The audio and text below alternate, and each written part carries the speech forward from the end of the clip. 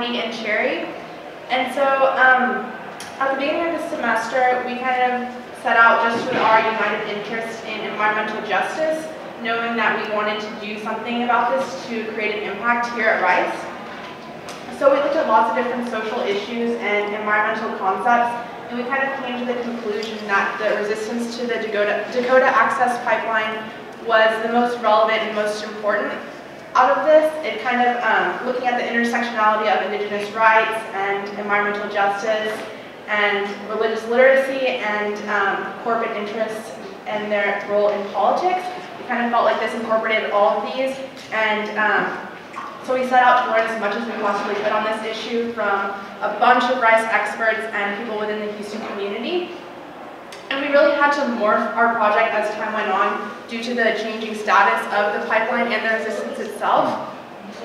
But ultimately we came to the conclusion that the best way to raise awareness to these issues would be to host a panel with uh, people directly involved in this issue and people with um, expert knowledge on the problems. So, um, and I want to thank Dr. Considine, our professor, for helping us put this all together. We couldn't have done it without him. And so now I will, um,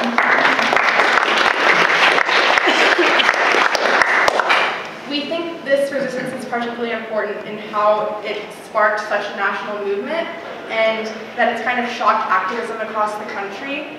And even though oil may flow through the pipeline, it will continue to spread its spirit through future resistances.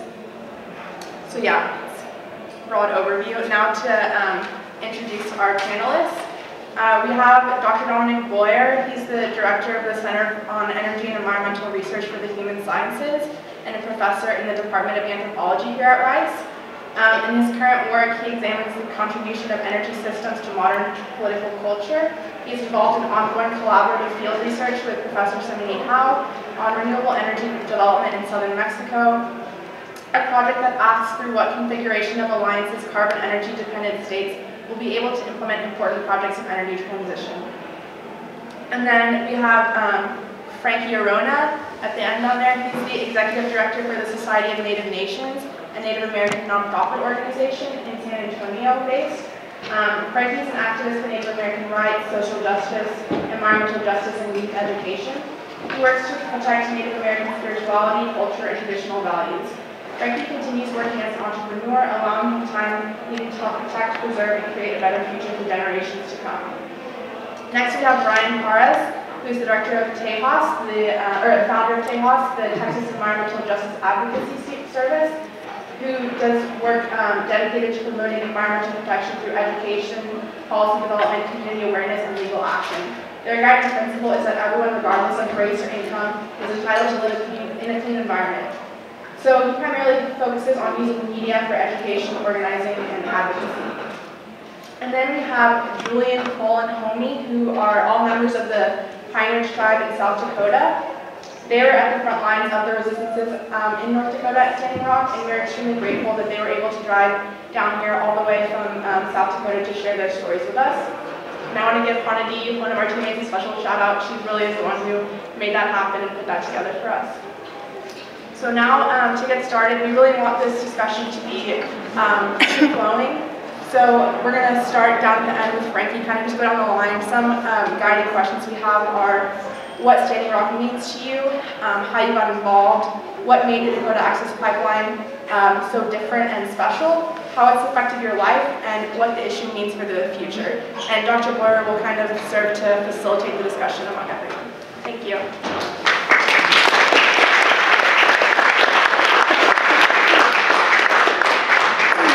Hello, my name is Frankie. Um, first and foremost, I want to say thank you to the spirits of this land, the people of this land for watching over us, taking care of us, bringing safe journeys for our relatives that traveled uh, long distances to come out here.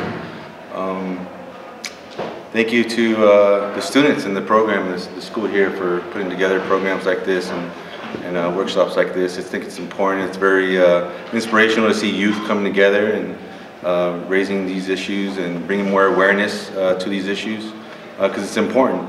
Um, very much like I was telling Craig earlier is that, you know, water doesn't have uh, prejudice, you know, it doesn't choose who it's going to give life to. It gives life to everybody because all human beings need that water to survive. It's why we say it's, you know, it's the water of life, it's sacred.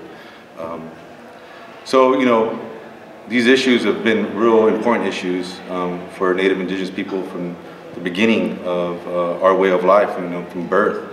It's part of how we are raised, part of how um, our culture and our spirituality and uh, the teachers and the elders and the spiritual leaders in our in our families that instill into us um, to take care of uh, the land and the home that uh, gives us what we need to to survive. Mother Earth, you know, giving us uh, everything that we need to survive and sustain ourselves.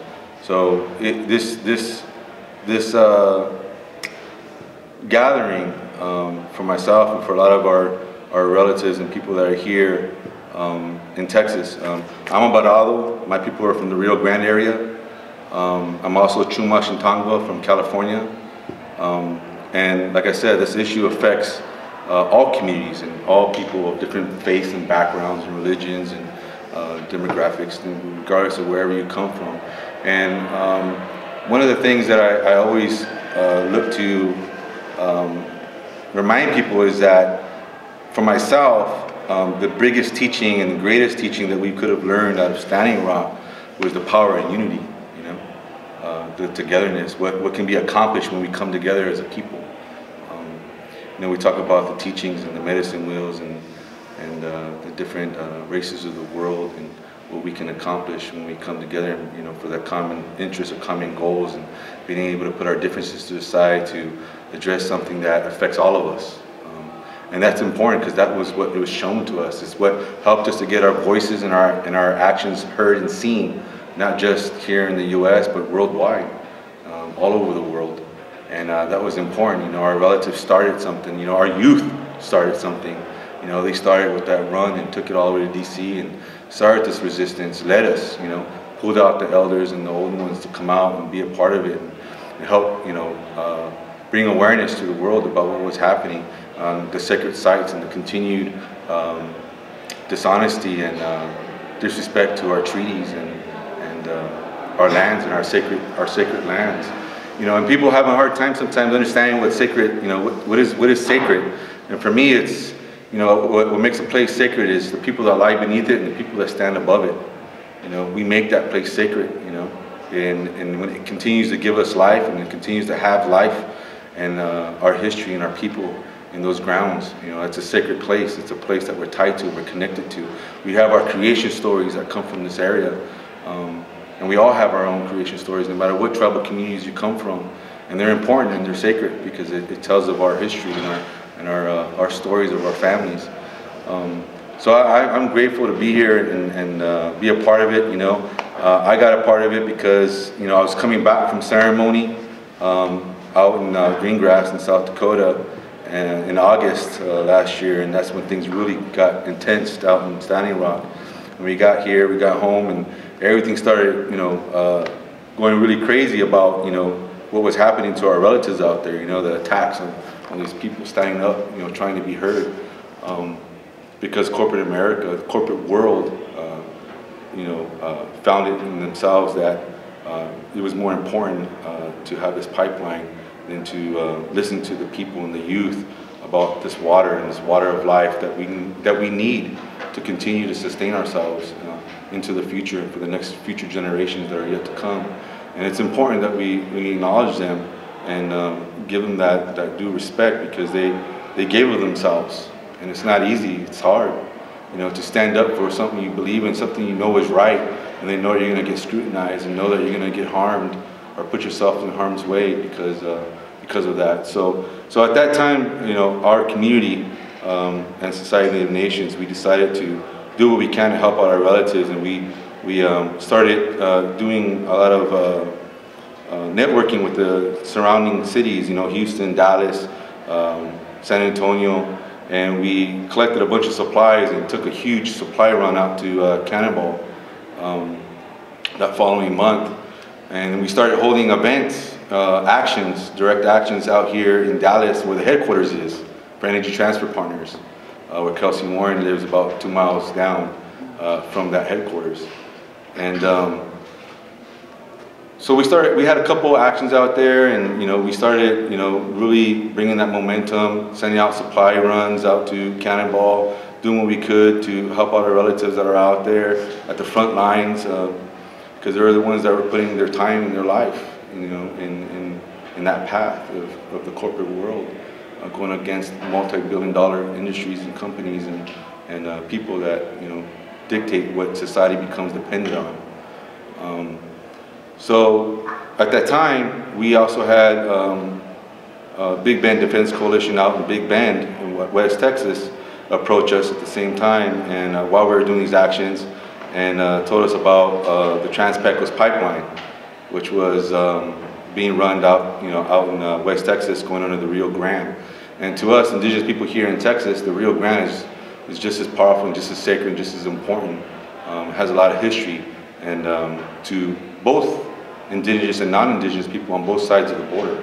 And uh, so we started to address that because, you know, we felt like we here in Texas couldn't um, keep addressing an issue where, um, where the exact same thing is happening in our own backyard. You know, and these things could be happening in your kids' uh, you know, playgrounds and, you know, in your backyard, in your neighborhood. And, and so we, we looked into addressing those issues because it's the same company, Energy Transfer Partners, Kelcy Warren, doing exactly the same thing here, uh, which he's doing many things in many other places. Uh, we just don't, you know, we don't, we don't hear about him. Um, so there's a lot happening that we're just not aware of. Um, but you know, this was a perfect, you know, perfect uh, opportunity for our, our communities to come together, and um, and for the, you know, our relatives out in Standing Rock to host that and to you know, make that statement was a huge statement for our people and for all people, for all communities to become aware of, you know, how important water is. And, uh, and it is important to me. I have my, my little girls back there. You know, and I think I'm out there because I think about them. I've been out in West Texas. We've been out in West Texas, you know, in Big Bend, um, which is really rough. It's real hard, you know, and it ain't an easy place, uh, you know, to live sometimes. And um, but we're out there, you know, doing what we're doing because, you know, we're concerned about their future, their, you know, the water, that sacred water, not just the sacred water, but the air, the ground, you know, the sacred sites, you know, the air you breathe. We all share, we're all connected. We're connected in more ways than just one, not just through the water, but through the air, through the ground that we touch, you know, the water that we drink and breathe. So, you know, that's why we, we, we decided to go out and do that and address that and help our relatives out in Standing Rock. And I think it's important that um, we all acknowledge those things and know how uh, it's important, you know. There's an elder that once came in back in 2000 and said uh, to our community out in California that he was told to come down, you know, by the elders to share a prophecy that was being foretold at the time, which was to say that he believes that the next world war is going to be over fresh drinking water and that one day you're going to pay more for a gallon of water than a gallon of gas. This was in 2000. 15 years later, in some places, you're paying more for a gallon of water than a gallon of gas. So imagine another 15 years, another 30 years, or 40 years. You know, our kids could be paying, you know, 10, 20 dollars a gallon of water. You know, and for those one percenters, those that corporate world, those people that run those companies, it doesn't phase them because they can afford to make sure that their their kids have that water. But how about the rest of the world? You know, how about the rest of the, the people that, you know, don't have that opportunity? And um, we have to think about everyone, all people. It's a human right. It isn't a, water should not be a commodity. It's a human right because none of us can survive without it. So I say thank you. Um, I'm gonna, you know, Native people, we like to pray a lot. So I'm just gonna sing this song uh, real quick because we like to start off things with prayer. So I say, ako nung kumi yung shmaipe. Tai honu tai honu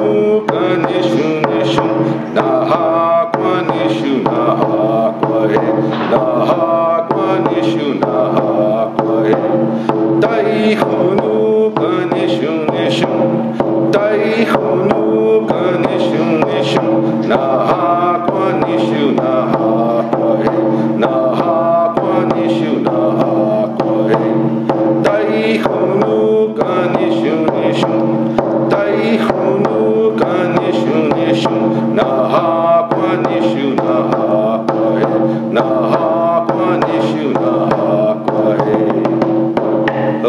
Can't touch my.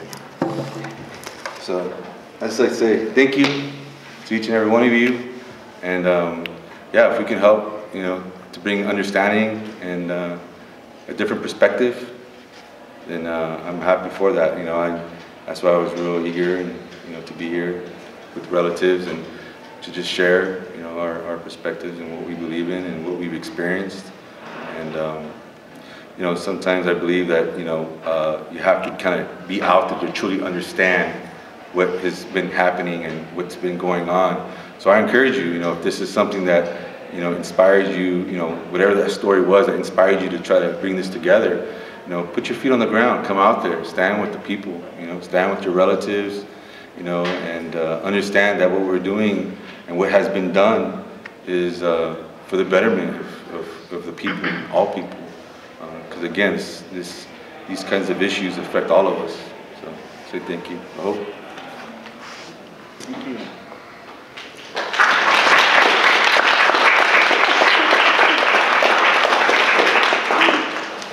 All right. Uh, so my name is uh, Bryan Parras, and I actually live here in Houston, um, but my parents are from West Texas and uh, Central Texas. My grandparents, and then beyond that, I'm, I'm figuring it out. But uh, you know, northern parts of Mexico for sure, which were also part of Texas, you know, the state of Texas uh, when the land was uh, Mexico. Um, and that's something uh, I think that is important, you know, as a starting place for all of us to remember that these borders that we identify with right now are temporary.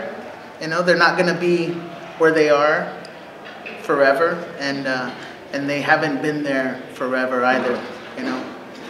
Um, so with that, I, I, I'll, I'll say, you know, one of the, the first, I guess, moments for me where indigenous resistance really resonated with me was uh, with the Zapatistas in Mexico. And, you know, it was, uh, it was, it was a moment that I wasn't really paying a whole lot of attention to as it was happening because I was in college and I just didn't really hear about it um, until I, I, graduated and came back home. And uh, I have to say, you know, a lot of my consciousness really didn't happen until my 20s. And, and it took me leaving the city. You know, a lot of us are isolated in our, in our communities, in our bubbles, and we don't always have to think about the, the bigger uh, picture, you know, the global community.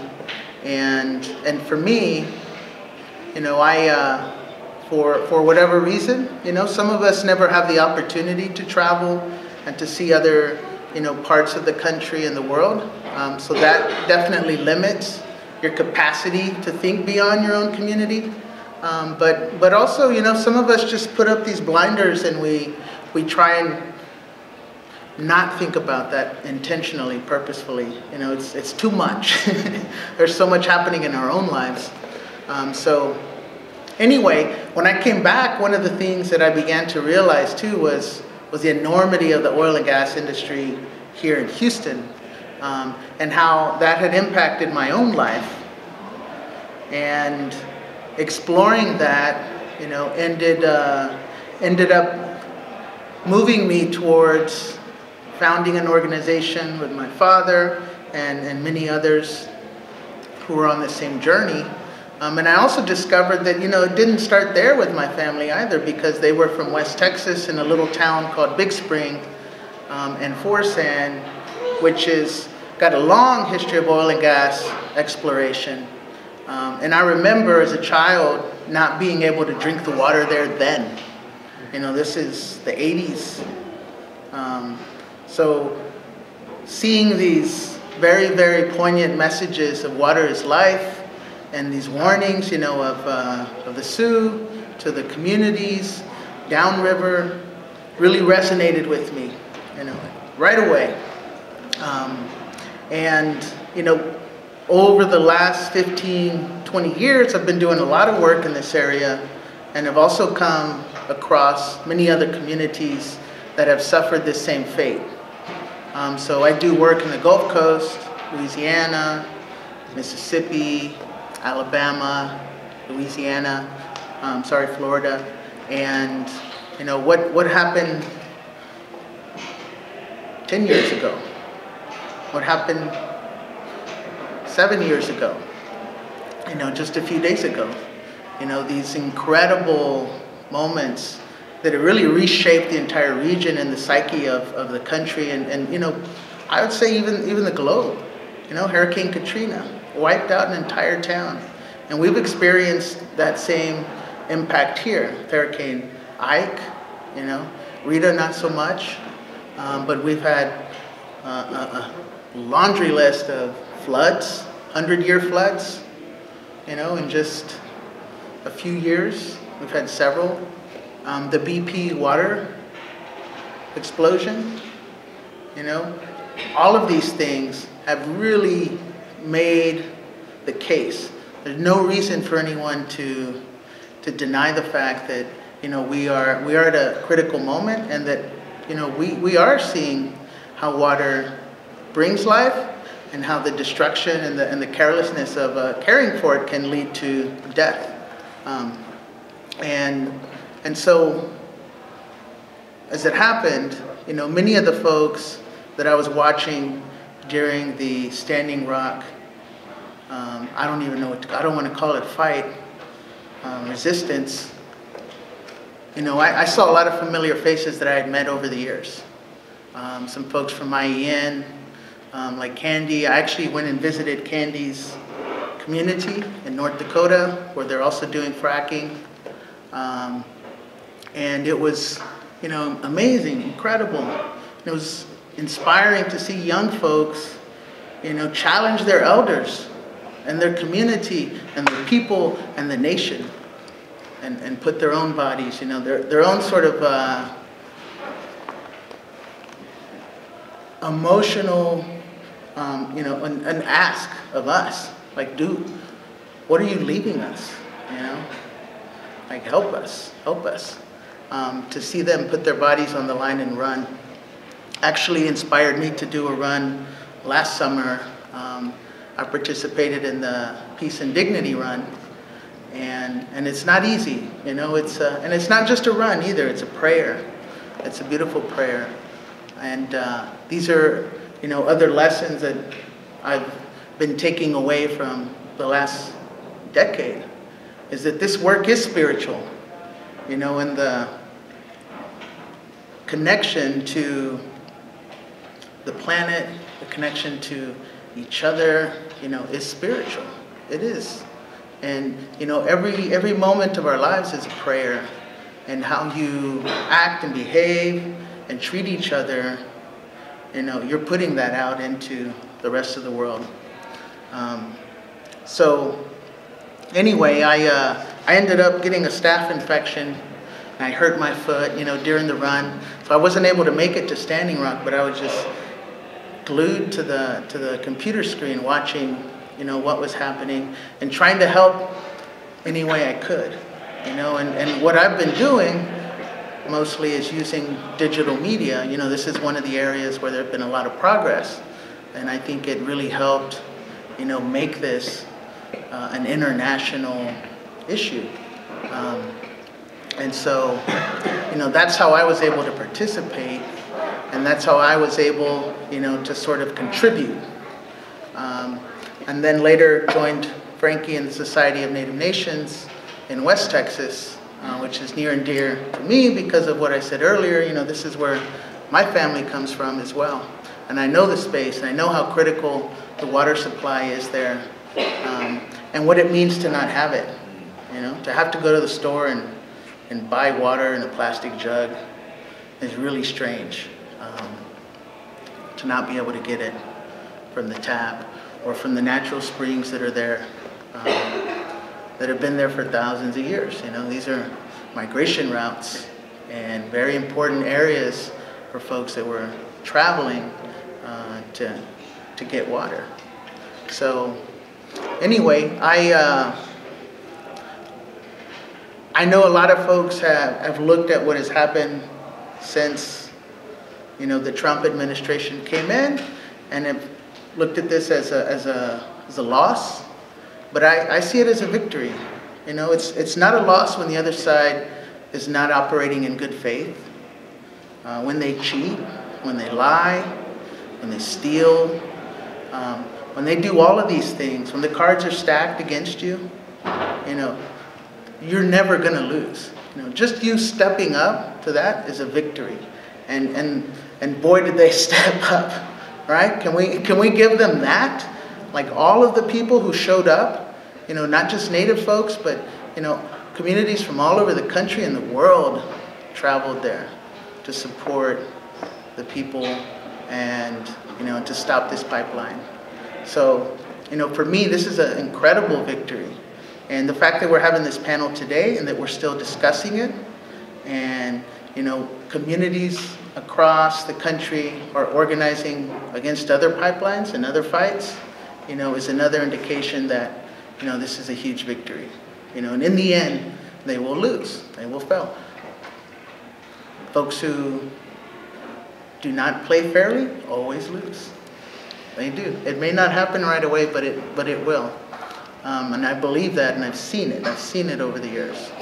Um, so that's all I really have right now. I, uh, you know, would encourage all of you to, you know, find the organizations, not just us up here, but those that, you know, are in your communities and, and support the efforts uh, that they're doing. And if there aren't any organizations or people doing that work, then maybe that's, you know, your calling time for you to step up. There's a lot of work for us to do here in Houston. You know, this city, this school, um, many of the hospitals, art institutes are benefactors of oil and gas industry. We need to change that. You know, that's a challenge to the students here. Um, we need you to go into fields that will make all of this obsolete right? We do. Um, so thank you. I don't have a beautiful song for you, I'm sorry. but uh, appreciate y'all.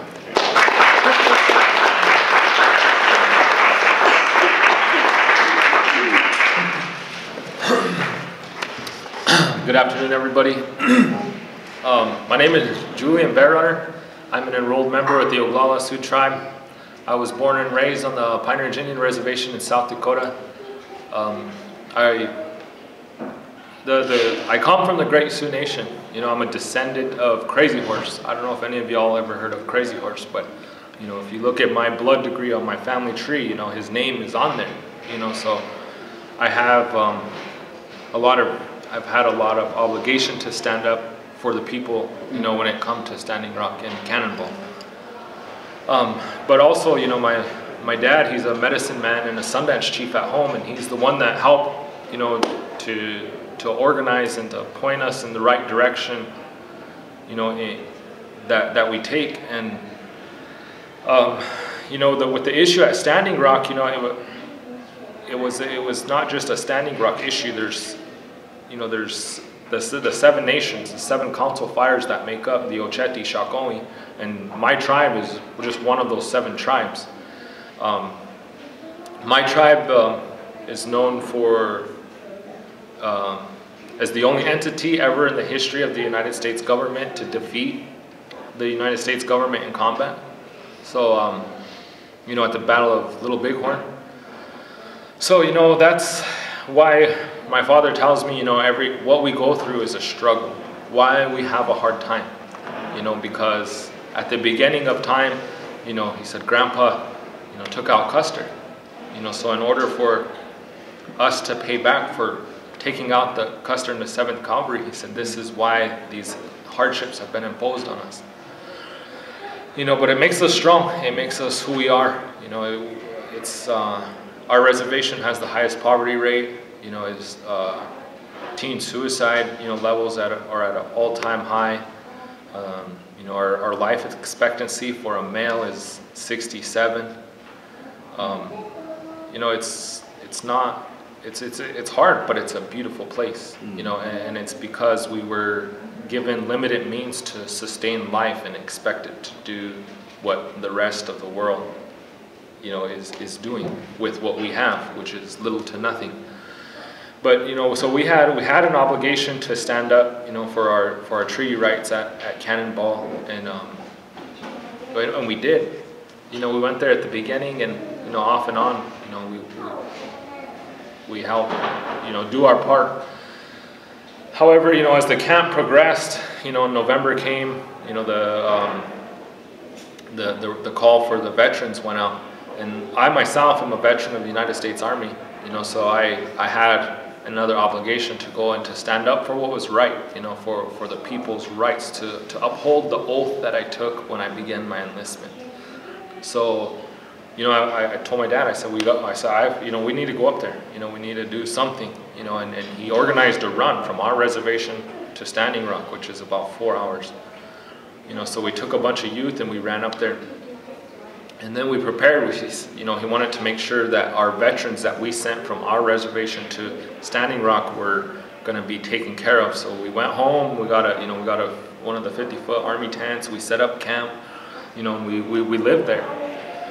Hey, well, we housed the veterans, you know, during the weekend when the, uh, the veterans action, and then after that we stayed. You know, and what really prompted us, you know, was November 25th. You know, we were a few of the first ones that were, we got a, they notified us that we, they needed warriors at the front line, which was the bridge, the Cannonball Bridge. So, uh, or it was the Backwater Bridge, not the Cannonball Bridge, Backwater Bridge.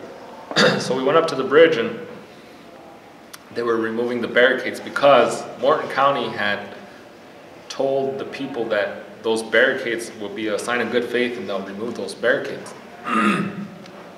so come the day that they were supposed to have removed those barricades and open up the traffic on that road, they, they didn't follow through with what they were what they said they were going to.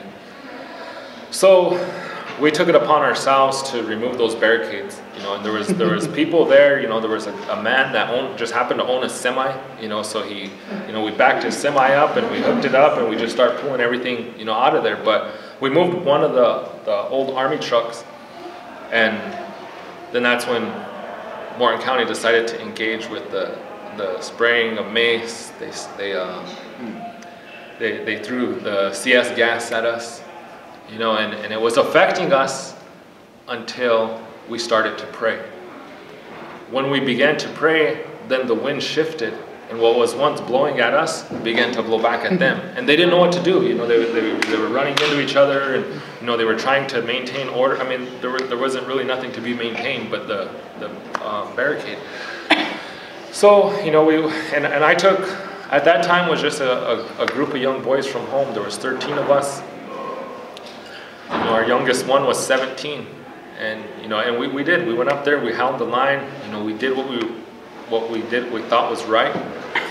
Um, you know, and then up until the point when they started spraying us with water, you know, in negative degree temperatures, and you know, it's already freezing. We're bundled up, you know, but then yet they decided to turn on the hoses, and, and it wasn't it wasn't like a high pressure hose to knock you off your feet. You know, it was uh, just a to spray to get you wet. It was like a you know, it was like a rain, you know, so they just doused us with water is more or less what they did. But, you know, that, that night, you know, really, really struck it, you know, for me, you know, in, in my heart on, on what was going on. And, and I started to rethink some of the things, you know, that I did in my life, you know, like, you know, deployments with the United States military, you know, going into other countries, you know, trying to tell them how to live their life. Mm. You know, it made me reflect, and I was like, am I going through karma? Because now here I am having somebody trying to tell me how to live my life. You know, and and so it just, you know, it caused a lot of shaking up in my mind. You know, but it, again, you know, with that shaking up, I found some clarity on on the direction that my life was supposed to go. So, you know, that um, we, we um, our, our only legal battle that we have, you know, that our, our only solid justification that we have are the 1851 and the 1868 treaties of Fort Laramie.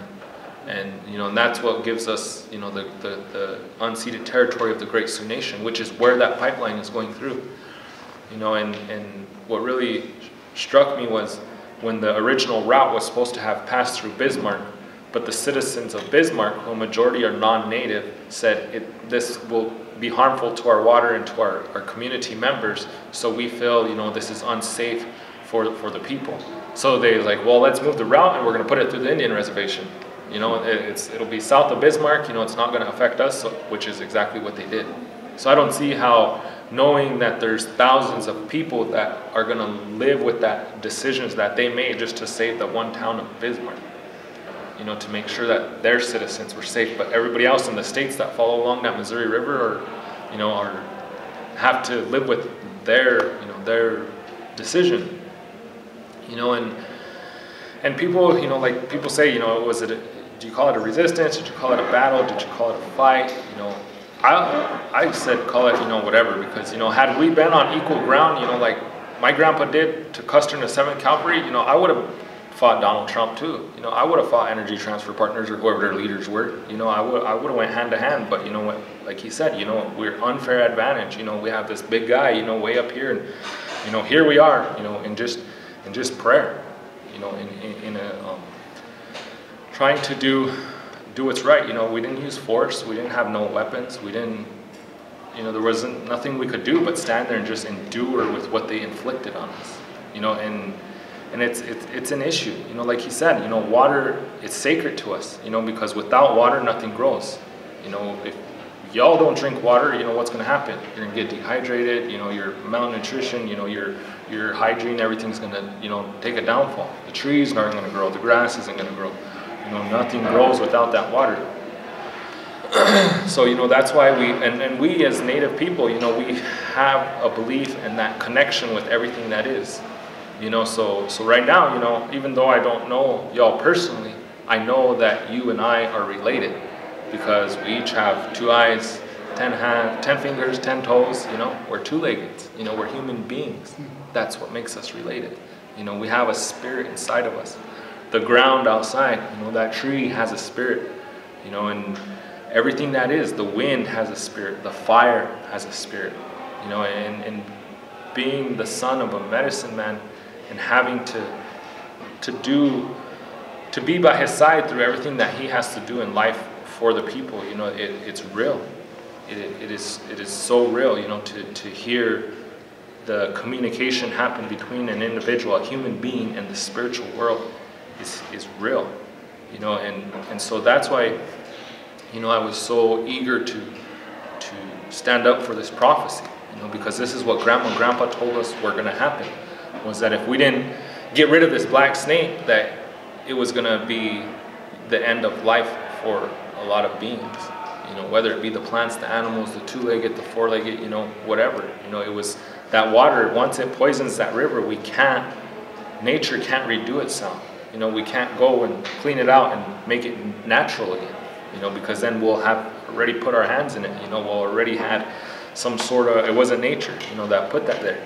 You know, we did that ourselves. So, you know, it's we have that spiritual connection with everything that is. You know, and we're and we're taught that. You know, every day to to to do things just how we're told. You know, to keep it real, to keep it simple. You know, and don't add nothing to it. Don't take nothing from it because it worked for grandma and grandpa and that's how it was passed down through generations till it got to me you know? So i was given those same instructions. Don't take nothing away from this don't add nothing to it you know? This is life you know? This is how we've made it through life and this is how you're going to continue life.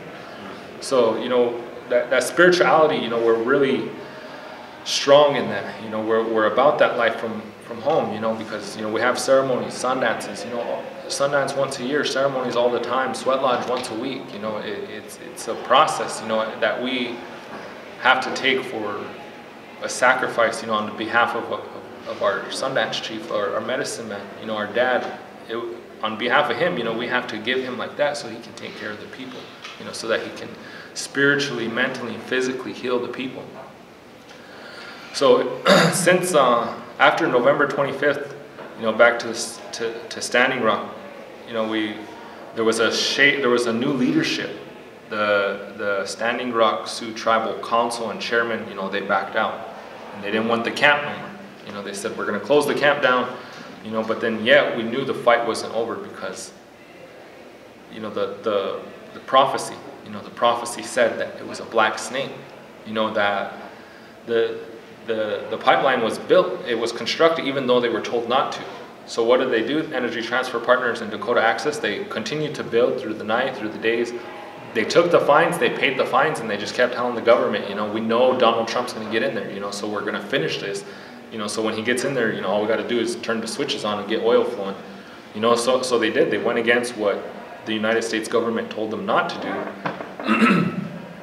and, and they continue to dig. So the pipeline's completed. You know, it's routed, it's under the river. You know, there's water flowing from point A to a certain point.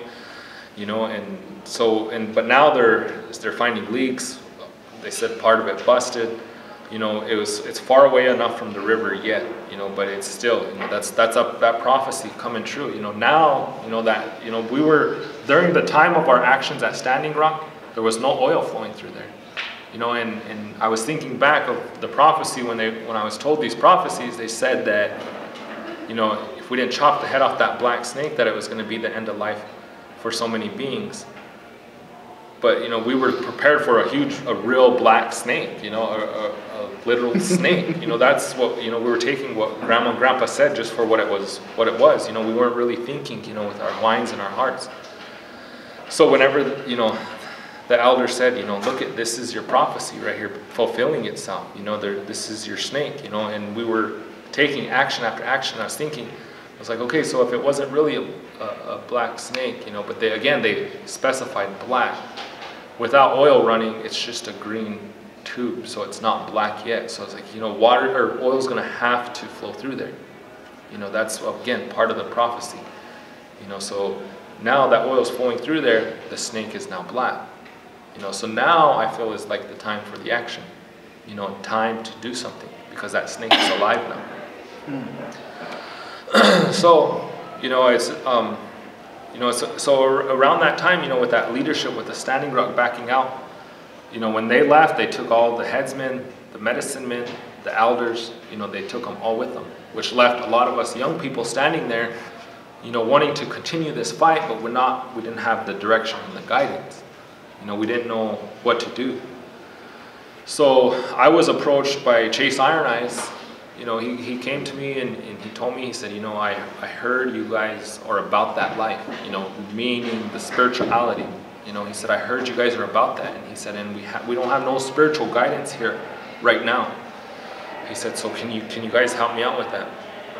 So we did, we prayed. You know, I got a hold of my dad. He came and he brought um, tobacco, you know, he brought his pipe, you know, we went to the main fire, he prayed at the fire, he blessed it, you know, and he, he gave us that spiritual guidance and that direction on how to continue our life at the camp, which is, you know, what, what we did up until the point that they arrested us. And then, uh, and they shut the camp down. You know, so we stayed up there until mid-February and then you know they, they, like I said we had no other option but to but to go back you know so so we did you know we took what we had and went home you know but it's um that was tough you know tough having to know that you know you share a connection with nature itself and that this is who we are but yet we still have that outside trying to come in to depict how we live our lives. You know, and, and, and they didn't really want to listen or rationalize or hear our side of the story or hear why we're connected or how we're connected or want to learn. You know, they just came in and said, this is how it must be done. You know, this is what we're doing and this is the right way. You know, so, you know, spiritually, you know, we, we've seen that. We, we know, you know, we're, we, we know, we have an idea of where we're headed you know, so we're trying to prepare ourselves for that. You know, but it's, you know, once you destroy nature, you can't, you can't fix that. You know, it, it's not natural after that. It's not nature. You know, it's man-made after that because man has put his hand there. And man has had, you know, his, his, his touch on how that's supposed to look when it's not. So, so it's not, you know, it's not nature itself. So, you know, it's, um, it's it, you know water you know it was was the biggest the biggest issue you know but again our spirituality our treaties you know, our rights that have been ignored since since day one. You know, they it was it's very hard to to see and to live, you know, because it's it's not our fault of you know how we are. You know, the, the government took our lands because they said we weren't doing nothing with it. But then again, you know, they didn't know that. We had that connection. That's nature. That's how nature's supposed to be. You know, because we're not building these high rises and digging all these holes in the ground. You know, we, when we when we lived, we, we left no trail behind us. So nobody, no, the enemy couldn't track us. They didn't know that we were even ever there. You know, that's how we lived our life. And so they come and they see, well, you guys didn't do nothing. Well, we already lived here. You know, we, we followed the buffalo. You know, we moved. When the buffalo moved, we moved. You know, and that's how we lived our lives. You know, we lived along the rivers. And in our whole treaty territory, uh, if you look up the 1851 or the 1868 treaty territory, you're going to see its, its borders are waters. This, the Missouri River, you got the, the Tongue River, the Heart River, you know, you got, um, you know, everything on the north, the south, you know, it's all water that borders us, you know, because back in, eight, in the 1800s, you know, we didn't have maps and GPS, you know, so that's how they did it, you know, from this water to that water, you know, that, that's your land. You know, so it's, um, it was really tough to endure what we endured at Standing Rock. You know, it was so, as, as a veteran, you know, as somebody with combat experience, it was hard to stand there in peace and do nothing while they took us down. You know, while they sprayed us with mace, while they beat us, arrested us, threw us to the ground. You know, that was hard because I took an oath to protect the rights and the liberties of each and every one of us. You know, so I, you know, it was hard to see everyone else go through that. You know, to see elders being thrown to the ground. You know, for, for what? You know, for, for the dollar, for the oil. You know, and, and that's, you know, what America has, has become blinded by today is money. You know, we've become dependent on money. But we, however, as Native Americans, have never needed money. Money doesn't belong to us. You know, because of what was established today, we have to have money to survive. But that's what I thought until I started staying at Standing Rock. You know, then we had no electricity. You know, we ran on wood. We used an outhouse. You know, we no running water. We had to haul water. We had to chop wood. You know, we had to have somebody stay up all night and do fire guard to keep the stoves going while the rest of us slept.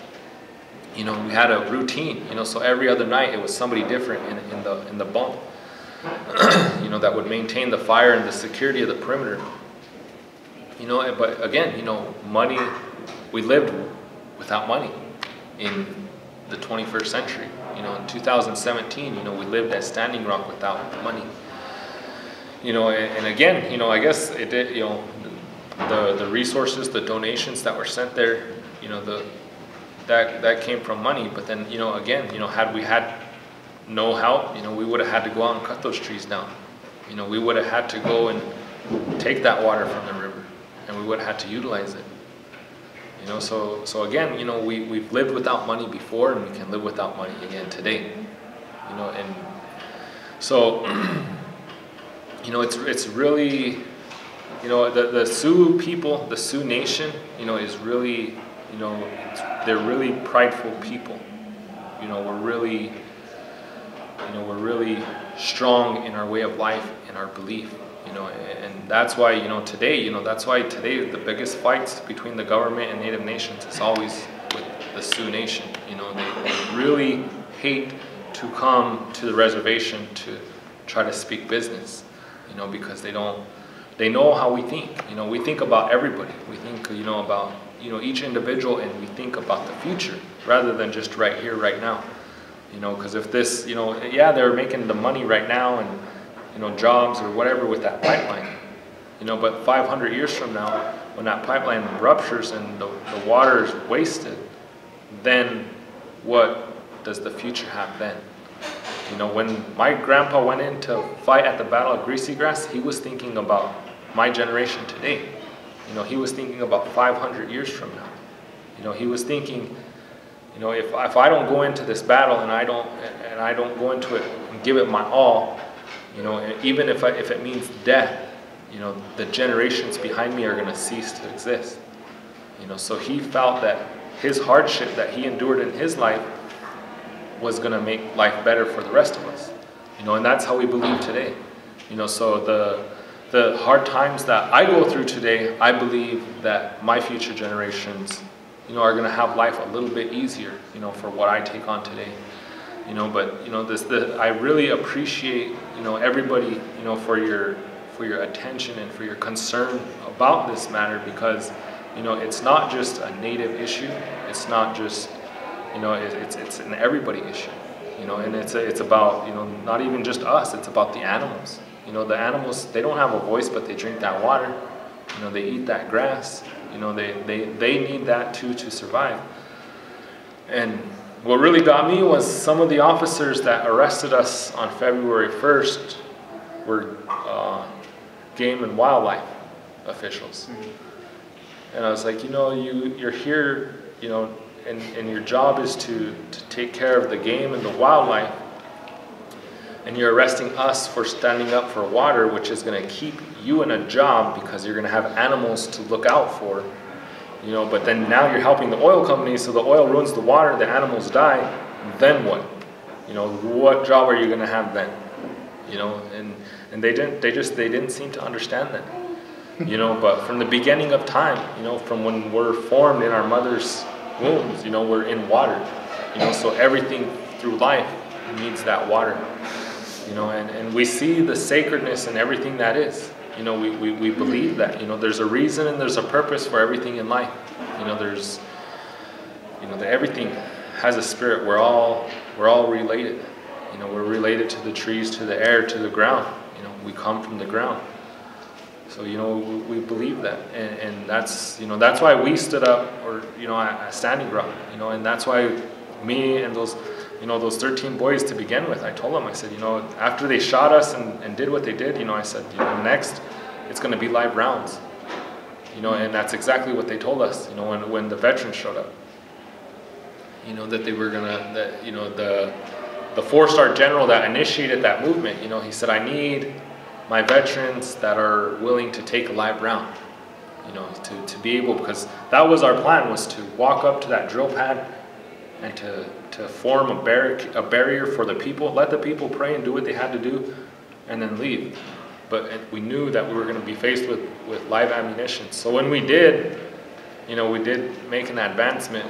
You know, they, they stopped us. You know, there were some elders that were concerned, and, and Morton County didn't show up to work that day. You know, because they knew that that's when all the TV cameras showed up. You know, all the big news broadcasts showed up. But you know, it's um, it's really important, you know, to, to maintain, you know, and, and if you don't know, ask, you know, ask, you know, it's, it's too simple, you know, had the United States government came and sat down and said, you know, this is what, or, you know, Energy Transfer and DAPL say, you know, this is what we're gonna do, you know, we could have worked something out. You know, I would have said, put the pipeline through the ground, but you make sure it goes through, it goes through Bismarck too, because if, you know, if we're gonna die, you're all gonna die with us, you know? That's what I would have said. But, you know, again, that- it goes back to what grandma and grandpa, you know, they, we, they were strict, they were stern, you know, no meant no. And if they, if they had to, you know, if it meant they had to fight to their death about it, that's what they did, you know, to, pr- to protect, you know. So every day I give thanks for that because had they not fought and died for what they believed in, I wouldn't be sitting here today. You know, my, you know, my, my, I, you know, I wouldn't, I wouldn't know what to do. You know, I wouldn't be here. So, you know, I have to give a lot of thanks for that, and and I, I guess you know, I'll let Omi and Cole give an introduction as well. Thank you.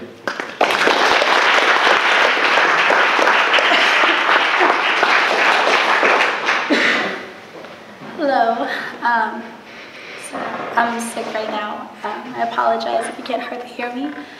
So my name is Timeline Gray Eyes. I am Navajo from the Navajo Nation. Um, I traveled from Kayenta, Arizona. I Julian called and said, "Hey, we need to go to Houston. Um, can you give us a ride?" Pretty much. So I, I drove eight hours up to Denver, picked him up, him and Cole up, and on the way down, I was thinking, the whole way down, I was thinking, was like, how do I go about telling people how I feel and what this this movement means to me? And I was on his case about you need to have an outline at least of what you want to do, and I should have been saying that to myself because I really don't know what to say right now, but I guess um, coming from the desert, um, Monument Valley, water is scarce, and I grew up in that. I I'd have to haul water for my grandparents and the animals, and with how much, how time-consuming it is, and seeing how valuable a barrel of water is, and on the reservation where I'm from, it's you, you're very. Um, you just see the value in it. And when I heard about Standing Rock, I, I, I was like, I told my sisters, um, I don't know what to expect, but um, let's go. So we, we traveled up to Standing Rock. Um, it was a 20, 24 hour drive. And the first two times I went, it was very it was different. It was a different experience. I met um, some tribes from the Amazon, and they are going through the same struggles that we are now, but our, our voice is louder because, well, I feel is louder because it's in the U.S. The U.S. is is said that is the greatest country on earth and I forgot where I was going with this. um, it,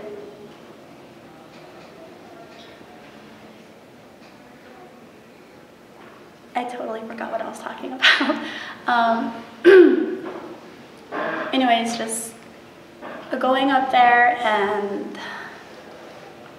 fighting for life and just standing with people who have the common um, values as we do. It is it was good. It was um, a great experience, and although was, we were thrown in jail and kept in dog kennels, I wouldn't hesitate to do it again because I. I want my children to be able to go fishing in a pond down the road or and, and not worry about about it being poisoned or getting sick from the fish and or the water. And um, just uh,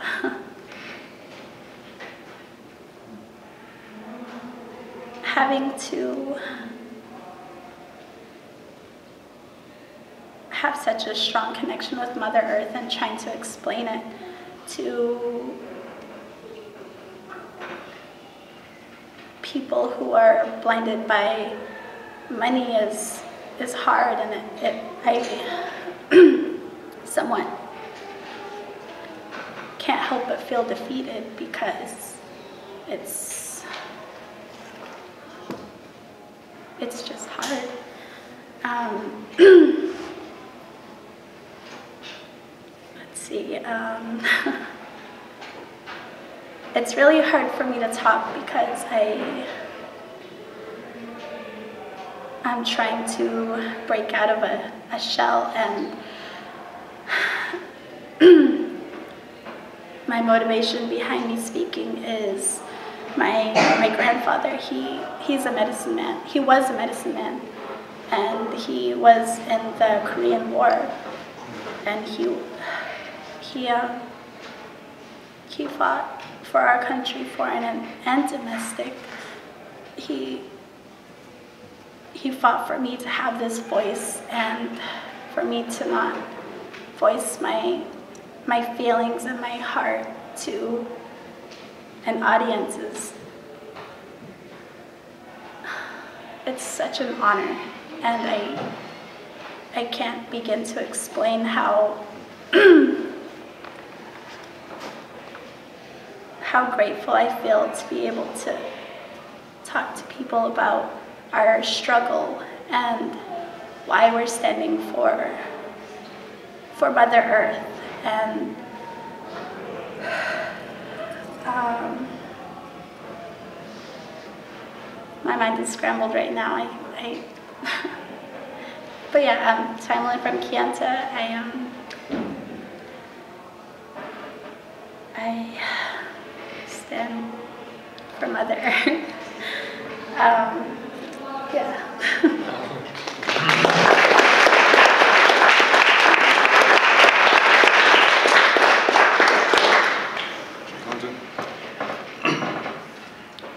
Uh, Cole Clements. I'm from Pine Ridge, South Dakota, from Wakpamni Lake. On the Pine Ridge Indian Reservation. Kind of embarrassed for sitting up here because I've always been a man of few words. And when they asked me to come down and talk, and know, it's just like, why me? It's like, I don't have, never have nothing to say, you know, so it's kind of surprised that they actually asked me.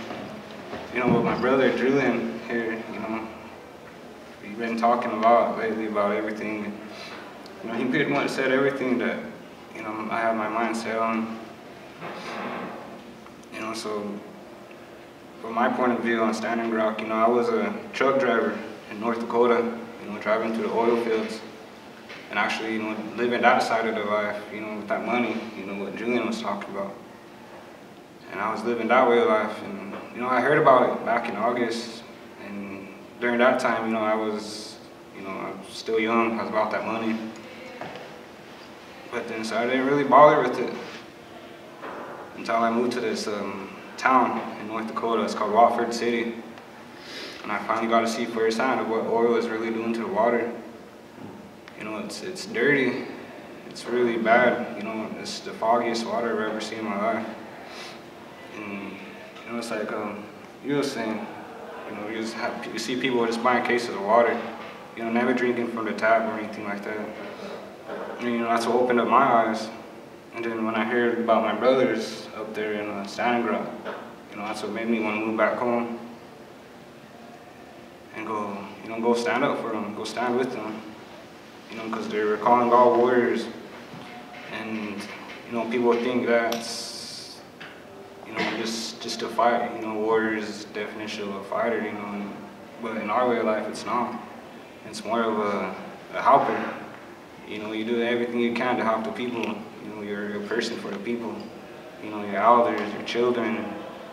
You know, whenever I heard about them get shot the first time I wasn't with them, you know, I felt really bad, you know, because all my brothers were there. And they're going through all of that. So that's what that's what really made me want to go. And when I got there and I seen, you know, exactly how people could come together, you know, not just for, you know, just for something that's way bigger than themselves, you know, it- it's really something to experience and, you know, live that life for a while. And it was, it was something else, really. Just, I don't know, really to explain it. Something just powering about all the nations all together in a prayer like that. You know, you could feel it as soon as you're there. You know, you could feel it in your, your heart and your mind. And you feel really good. You know, just seeing all the people like that come together. You know, different races, different tribes, you know, everything. And, you know, whenever, you know, they close it down, know, it was, it was kind of sad, you know, because, like, I wouldn't say it was a loss, but at the same time, it wasn't necessarily a win either. You know, so I felt sad, you know, for a while. you know, but that, like my brother Julian was talking about, there is a prophecy, you know, and it hasn't been fulfilled yet. You know, so, you know, deep down, I pray that, you know, one day that we could still stop it. One day that, the, you know, that pipeline will end, you know, for good. And.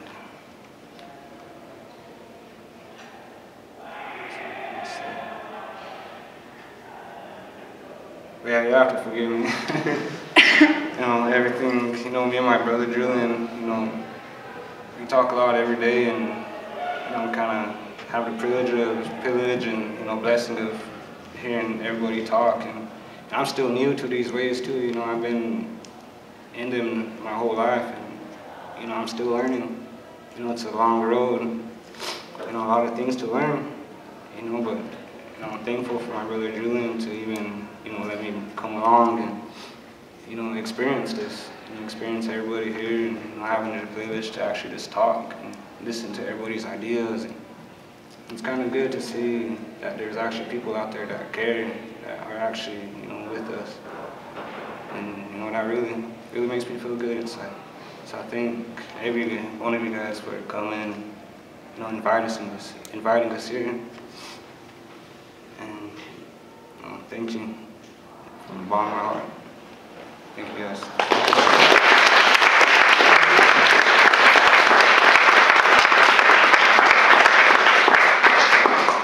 Well, wow, um, that was amazing panel. Um, I want to just maybe one more round of applause for everyone.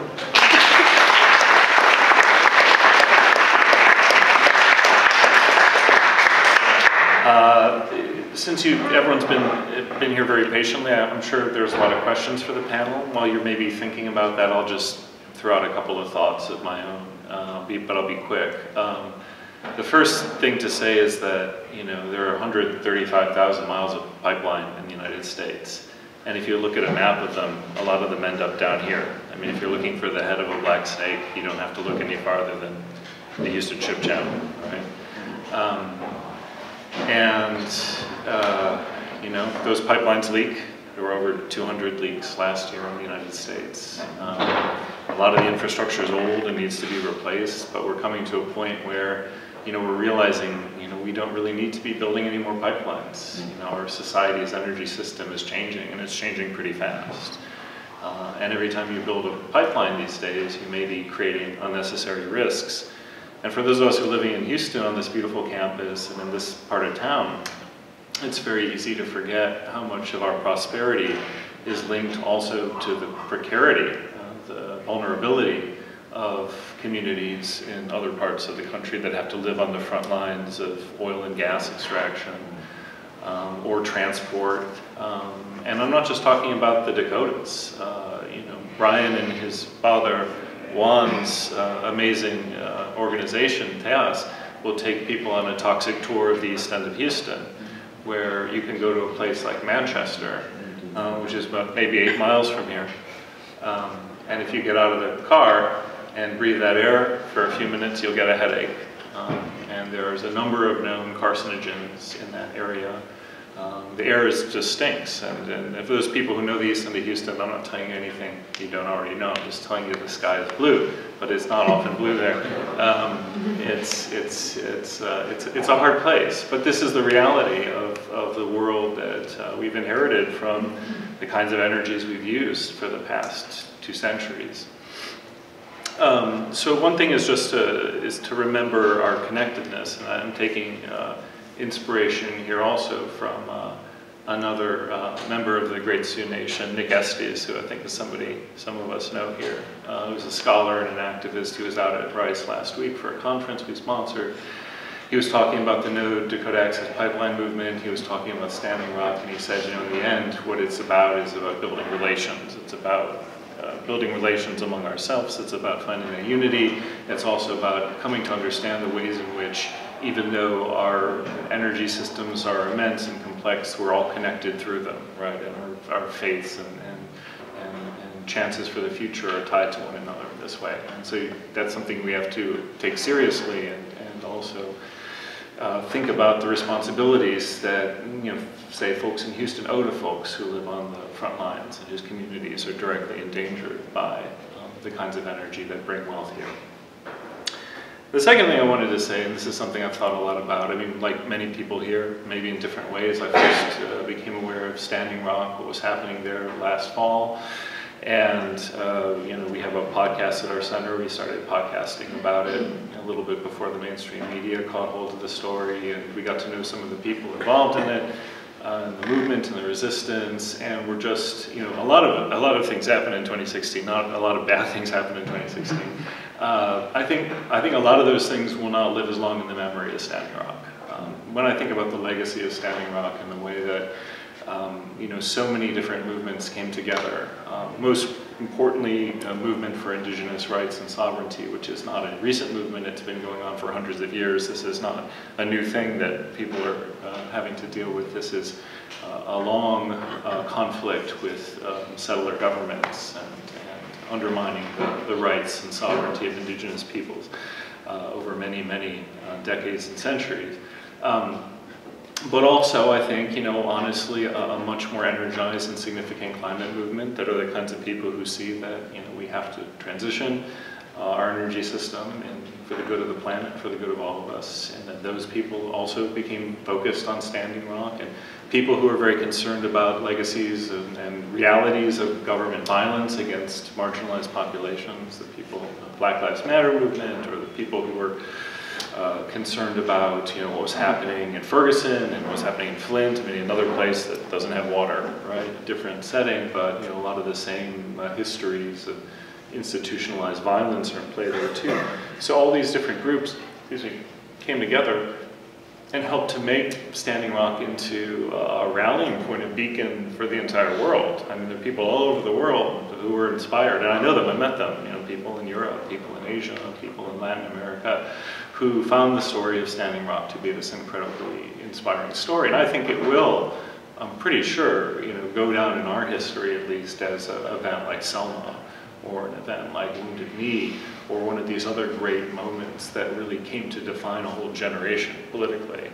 Um, so, yes, I mean, on the face of it, you could say the oil is flowing through the pipeline, and so some people would say, well, that's a failure, but I think, you know, and I think what we've just heard here suggests absolutely the opposite, that um, it's a tipping point, you know, and it very, came very close to that oil not flowing, very, very close. Um, 80,000 votes close probably uh, in, the, in the American election, but, but more importantly, we have to think about all the pipelines that are not even going to be pursued now. There are pipeline projects that have been canceled that haven't even gone to financing because of the backlash, the people who are taking, closing their bank accounts from banks that are funding the pipeline projects. Um, I think pipelines are, every single pipeline from here on out is going to be contested. And that is, I think, a victory for, for those of us who feel that it's time to get to a new energy system as quickly as we can. That, that this clinging to the old energy system is, uh, is something that isn't just making our, all of our lives environmentally uh, increasingly precarious. So I will stop there. I'm sorry for having spoken too long, and I will just invite anyone in the audience who has a question for our panelists to, to throw your hand up and, and ask away. Yes, please. Um, I'm just curious um, how you guys view the media coverage of everything in terms of accuracy or what you would have liked to cover, both sides of the spectrum, like your, you know, right wing versus left wing, everything in between? I don't think that it was covered accurately. Um, you know, and, I, and, I, and some of the headlines that I seen, you know, it wasn't, you know, they could have done a better job. Um, a lot of the independent journalists that came, you know, I feel is something that the major news network should have done. You know, they should have came and lived with us, you know, like those independent journalists did, you know, and seen, you know, exactly how it was inside our teepees and, and what we were doing, you know, because, you know, here they are trying to follow the law, you know, and stand with the law and, and, and try to give, you know, stand on the road and just watch us and try to, you know, justify everything when they don't even really know what's going on, you know, but then you have these in, in, independent journalists that are living with us, you know, understanding both sides, you know, and, and they're, you know, they're right there in the, you know, there was a lot of, um, there was a few that, you know, there was a, a couple, an old, an older couple, lady and a man, and they were, you know, the lady was really upset because, you know, she came and she thought that we were in the wrong. You know, and when she came there, she, you know, it was just totally flipped around for her, and she couldn't, you know, she couldn't grasp it, you know, until just that night, you know, after we had a conversation, then there was an action at the bridge. So we go to the bridge, and then that's whenever they start shooting us with uh, the, the rubber bullets and, and throwing the gas at us, you know, and her and her husband, you know, amidst all that going around, you know, I looked around and there they were, you know, standing on the side of the bridge, you know, with their cameras. And, you know, and they were just filming all of this. And she came up and she's, you know, after it was all said and done, done and over with, you know, she was, she was like, you know, I, she apologized because she, she honestly thought that, you know, she wasn't, you know, that she was, that we were in the wrong, you know, and, and for, you know, the, to see her husband, you know, covered in, in gas and, and he's, you know, soak, soaking wet, you know, she was, she was very upset, you know, because her eyes were open to the, to the harsh reality of what we had to, you know, endure there, you know, just trying to, to, to speak our minds, you know, and then finally, you know, and then that's why those in, independent journalists at the end, you know, they start getting arrested. You know, and then, and then once they got arrested, then they were taking, you know, their cards out, their SD cards out of their, their cameras, and you know, those were becoming missing. You know, their actual equipment was missing. You know, because it was to prevent the truth from getting out.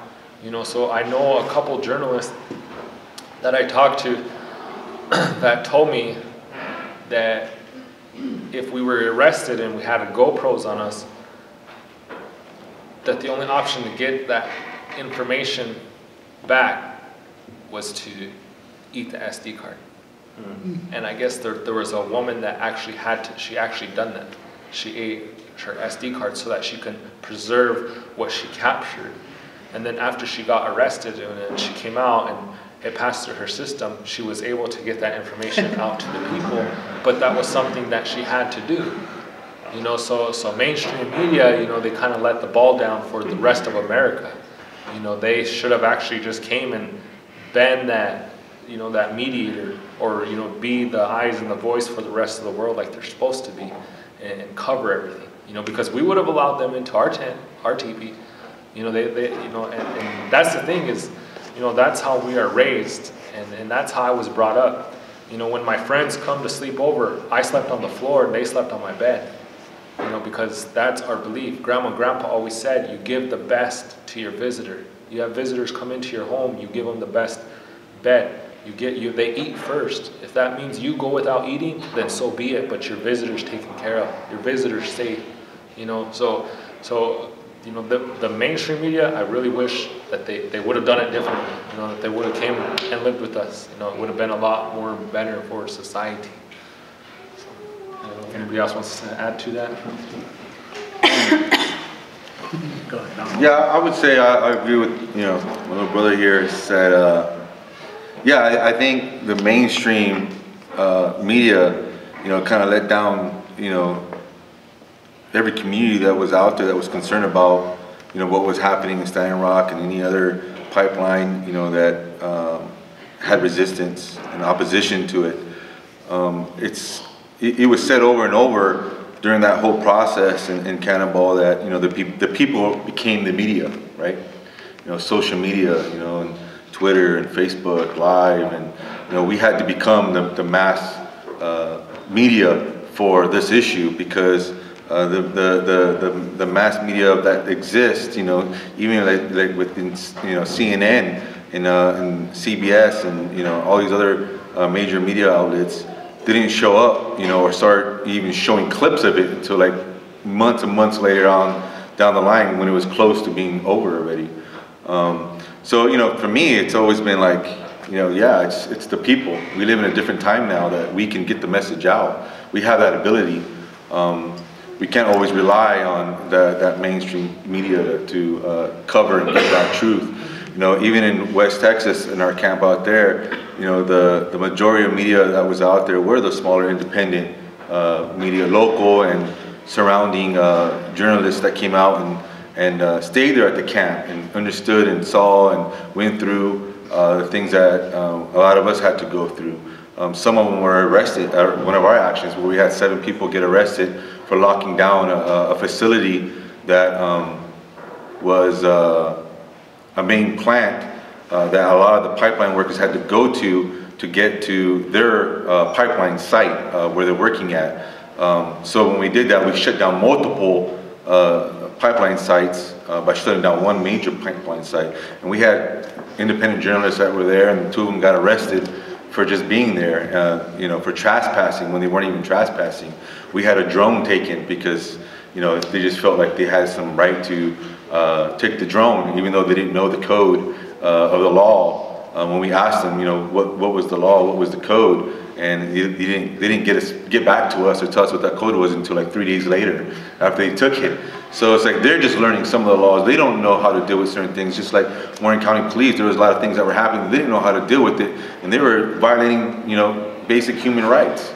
Um, and it, it, happens all the time when you're dealing with uh, law enforcement that um, don't know how to deal with um, these kinds of things that are happening when community comes together in a, in a big mass like that.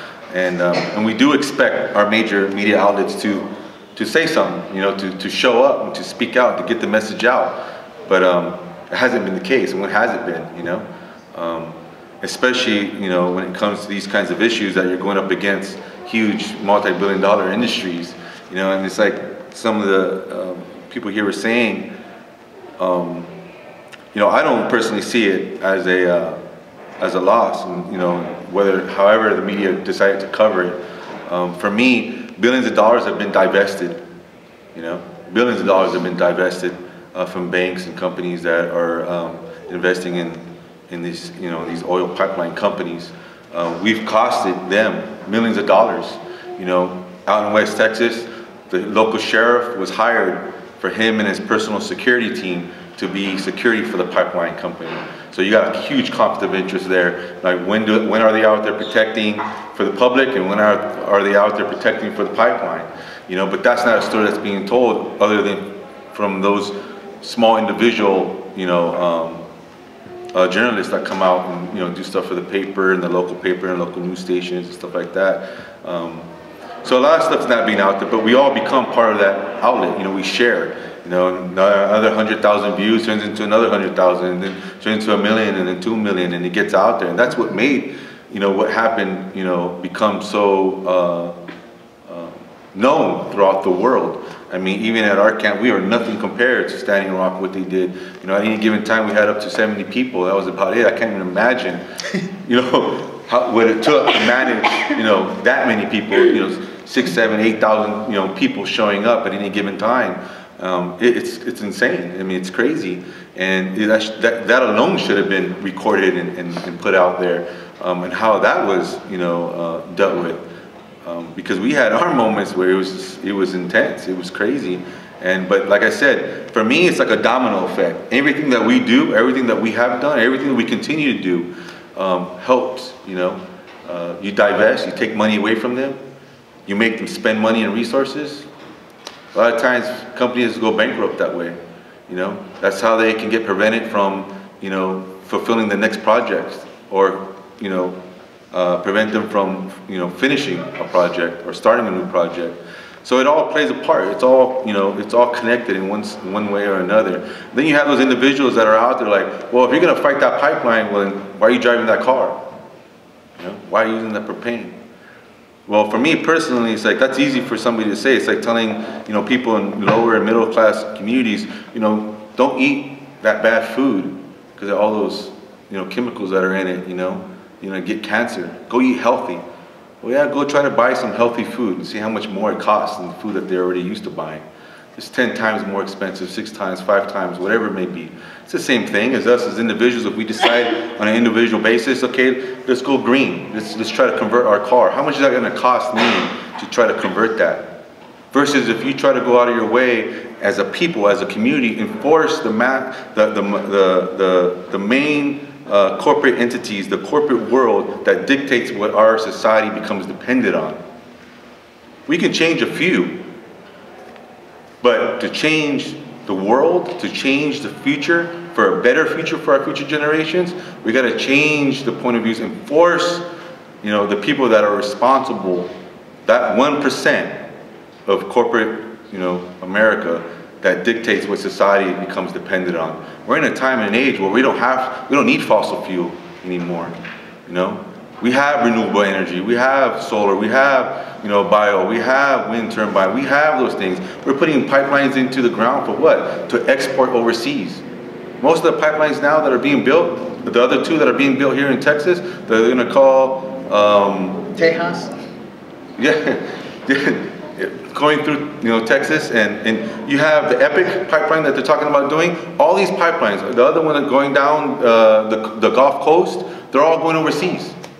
Trans-Pecos pipeline, it's going overseas. It ain't benefiting us. We have an overabundance of natural uh, gas um, already in the United States. We have a reserve. We don't need it. It's not going to benefit our communities. It's not going to benefit us. We don't, we don't require it, but it's going overseas so the one percenters like Kelcy Warren can make another billion dollars. We don't need the money. We, I mean, we don't need that, tho- those pipelines in the ground anymore. We don't need those, those resources. I heard a reporter say one time, says, what do you think is going to happen when you pull death out of the ground? Because that's what fossil fuel is. You pull death out of the ground, what do you think is going to happen? Of course you're going to uh, damage your water. Of course you're going to damage your air. Of course you're going to damage the life that exists around it. More death is going to come from it. That's all that's happened since. But we're, we're in a time and age where we don't, we don't need it anymore. We can move away from it, you know? And we need to, we need to start forcing people like Kelcy Warren and those kinds of companies, those fuel, you know, those fossil fuel industries and those companies to put more renewable energy portfolios in their eyesights, in their, their, their next project so we can get away from that. Because people don't realize how much it affects it. It's not just one thing. Like the Trans-Pecos pipeline, it ain't just a pipeline that's pushing gas over, you know, the Rio Grande into Mexico to get shipped out. 80, 90% of it is gonna get shipped out to, to overseas, more than likely Asia, because only 9 or 10% of it's gonna be used by Mexico themselves to, to convert their coal plants over to natural gas. It ain't gonna benefit our, our, our, our communities that are there. They ain't gonna sus- give them sustainable jobs.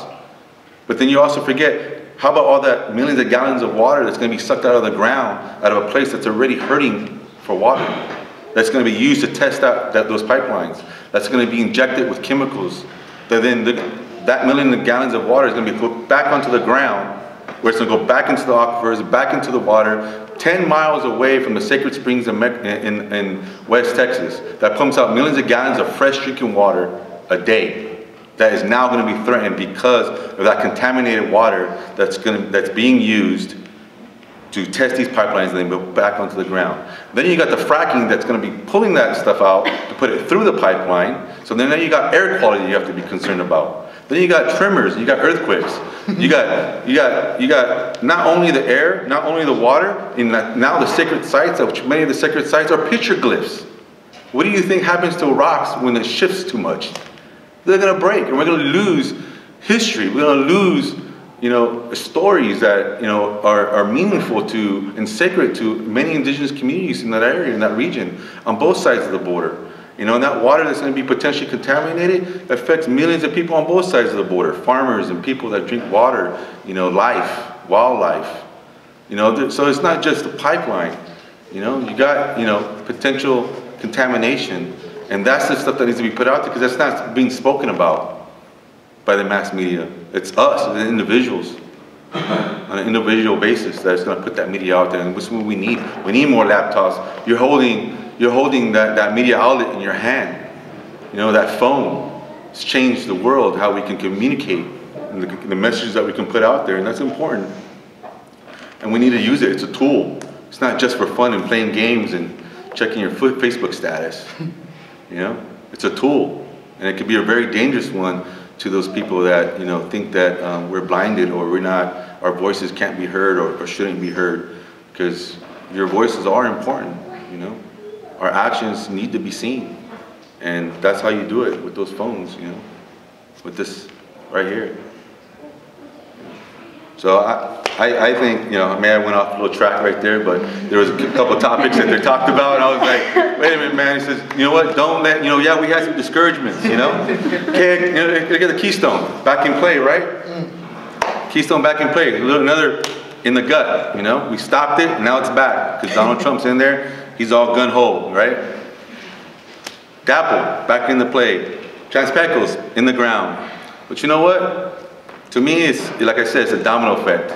We've been heard, and we're getting heard, and we're being seen. And we can stop the future potential ones that to, to, to be from being completed. You know, don't let, don't let the corporate world dictate our resistance. Don't let it dictate when it begins, when it ends, or how it continues. We dictate that. The people dictate that. The ones that care about the future for our future generations. We have the ability to make a change. Because if we don't do it now, when our kids decide to do it, it might be too late. We don't have that time to waste. The elders say we don't have that time to waste. So, you know, keep doing what you're doing. Keep bringing that awareness amongst yourselves, amongst your family, and then amongst your communities, because that's what it's about. You know, our elders tell us, you know, we talk about, you know, poli- you know uh, politics and we talk about activism. And I had a hard time at one time dividing, you know, separating, you know, spirituality and, you know, and uh, the politics and, and, and activism. And uh, the elders say, you know, what is what is activism? What, what is an activist? You know, an activist is, you know, to to uh, to bring awareness, you know, to make to have a you know to gain a connection with your community and your people, so that way you can create a better future uh, for the next generations to come. Well, what is spirituality? Is to gain a, a connection with the Creator in the spirit world, so you can be a good human being, so you can be connected, so you can do good things for yourself and your family, and then your community, so your future generations can continue to strive. The end result is the same. If you remove the self-interest and the egos from your activism, it's, it's another form of spirituality because the end result is the same. You're fighting for a better future for the next generation that's yet to come. So don't let society put a label on it, you know, from being called a protector versus an, an activist. That's, that's not what it is. You're fighting for a better future. You're protecting, you're trying to protect that future for those future generations that are yet to come.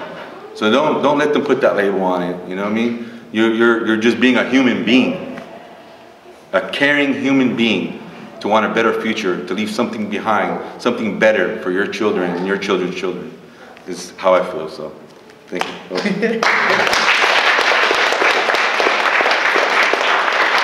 Do we have time for another question? All up to you guys. Uh, any other- Yes, please. I, I have a question for Julie. There's an old saying among Christian medicine men that in order to expel a demon, you first have to name the demon. If you had to name a demon, a phrase or a word, what would you say it is in this case? Donald Trump.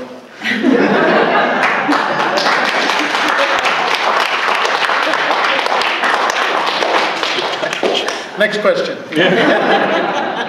That was a quick one. Anyone else have a question? Uh, yeah, Just ask one, I mean, I guess I'm wondering if, if folks up here, thank you so much all for being here. Um, I mean, if, if there's anything, if there's a piece of advice you could give non-native folks who want to find ways to sort of be in solidarity with native-led movements in a way that's helpful, right? To, to sort of like, yes, to, to, I think, I think like overachieving, well-meaning non-native folks maybe have a way of kind of showing up and saying, oh, well, you know, we're, you know, well, what can we do? What, you know, like, make this about us in some ways. And, and I guess I'm wondering, sort of, you know, are there, are there strategies for sort of solidarity, for like effective solidarity that's about making sure that native-led movements are, are led by native people, but in ways that non-native people can be sort of, you know, effective or sort of bring their talents and bring their sort of resources to the table? Uh, I would have to say, you know, because I've been asked that question before, you know, it's like as Standing Rock, whenever we initiated and, you know, kind of moved into the a leadership position with that camp, you know, we had some natives that were, were from different tribes that were coming from all over, the, you know, different places and they were, you know, they were camping here and there. And, you know, they, mixing the ways of life. You know, some of them were trying to say, well, this is how it's done. You know, well, you know, I, I, heard them through, but I had to think about it, and I talked to my dad, and he said, you know, just go with what's in your heart. And I and I thought about it, and I was like, well, each one of us were given special instructions on how to live our lives. You know, we, whether it be God, Allah, Tukashla, whoever it is, the Creator, whoever it is that we pray pray to. You know, he showed himself to us in, in that manner and, and how he wanted us to see him and gave us, you know, whether it be the Ten Commandments or, you know, like, you know, our, our Lakota values, you know, our spiritual law, you know, I had to tell the people, I said, you know, we have to understand that, you know, your belief and my belief, you know, that, it's, it's not really different. It's just who and how he looks, you know, in, in the instructions that we were given. Now, if we follow those instructions and actually be good human beings like we're supposed to be and, and follow those protocols that were given to us, you know, and, and have that understanding that, you know, our two ways of life ain't going to be the same, but, you know, it's, it's all in a, in a good thing, you know, then we can, we can unify strongly, you know, we can understand each other more and, and and that's what I tried to tell the people there. I said, you know, like, look at the land right here. Okay, we're right here. We're in Sakowin. We're in the great, the treaty territory of the Great Sioux Nation. I said, so before, you know, you, you come in and try to put, you know, your way of life and your belief, you know, I, I respect that. But instead of trying to put that ahead of, you know, everything else, I said, you need to look back and you have to remember that there was a way of life, spiritual law, and protocol that was already alive and living on this land before you came here. You know, so I said, you know, and, and, and I told him, I said, you know, had this pipeline and this conflict been going on in your hometown, I said, and I brought myself there, I said, I would be following your lead because, you know, your way of life was already alive and living there. You know, so I said, and, and to bring mine and to join those two forces, that's what makes it stronger. But when you bring those forces and you try to say this one's more powerful than this one, you know, then then it's that then it's not really nothing's powerful. You know, there, there's no strength there. You know, so you know my if, if and you know and coming from from the Lakota people, you know, from from my tribe, I can I can really tell you, you know, if you if you want to learn, you know, if you want to understand, if you want to grasp an understanding on the Native American way of life, you know, come come to our home. You know, come. You know, we're not going to treat you any different. You know, you're you're going to be taken care of. You know, and, and you're going to see it firsthand. You know, it's you can't get this stuff from the book because again, we have oral tradition. You know, we didn't write nothing down. You know, it was all passed down from from generation to generation. So to gain and grasp a full understanding on the on the way of life, you know, to is just to go out there and live it. You know, go out there and experience that. You know, especially you know, like like I said, you know, that's how we were taught.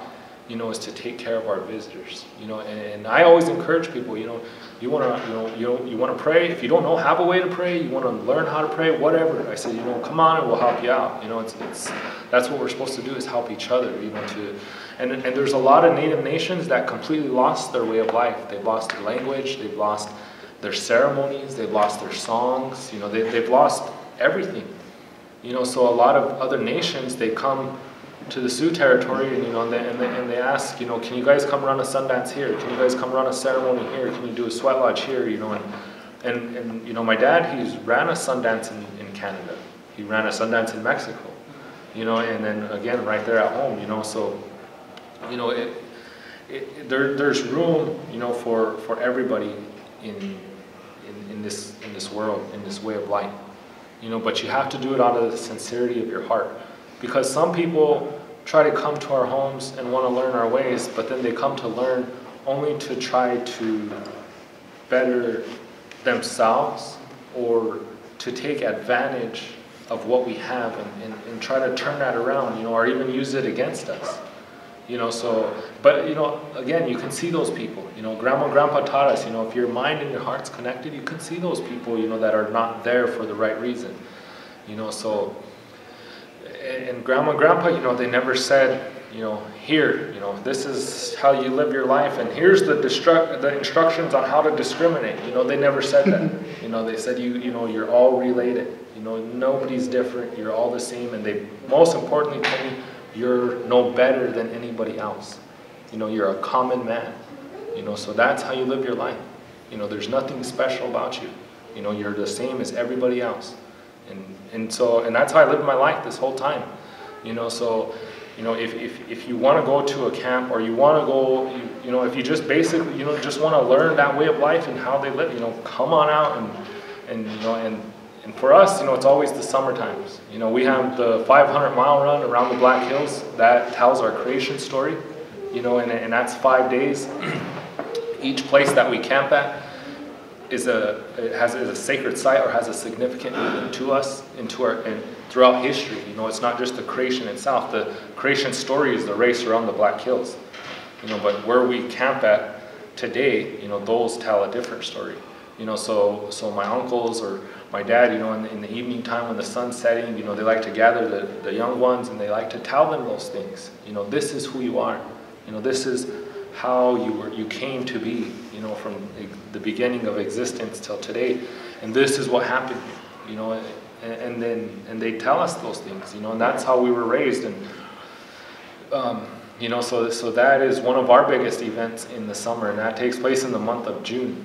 Know, and then we have our we have our, ceremony, our, our Sundance in July. You know, and then the the actual town has their big, you know, their big powwow, their gathering. You know, and that's in August. You know, so so it's it's all summer long. You know, and, and the winter time too. You know, we still live our lives in the winter time. You know, we like to say, "Na ke nula waun." Um, you know, that means anytime, anywhere I live my life. You know, so so me I, as a Lakota, you know, this is me living my life. You know, I'm standing here. You know, I came here a, with a prayer. You know, and guidance on how to what to say. You know, and, and how to conduct myself.